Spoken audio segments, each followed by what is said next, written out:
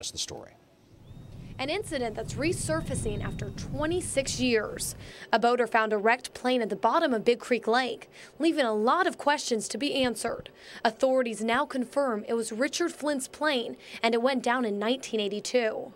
You know, we, we have our own archives as well as the FAA, and like I said, we have been able to cross-reference uh, some tail, the tail number on the plane, and um, with a little bit of investigative tools, we've been able to put together some dates and some times and uh, the model of the plane. And the Federal Aviation Administration tells Fox 10 News the plane which took off from New Orleans ran out of fuel and crashed. A body was recovered, but the FAA couldn't say whether it was Flint. This discovery has boaters interested. Andy Ellsworth heard about it and took us out on his boat to try and find it by using his sonar. I fished this lake my whole life, fished this area. I've never seen it. We had an idea of where the plane was located and about how deep it was, but we still didn't find anything. Many boaters say it's like finding a needle in a haystack.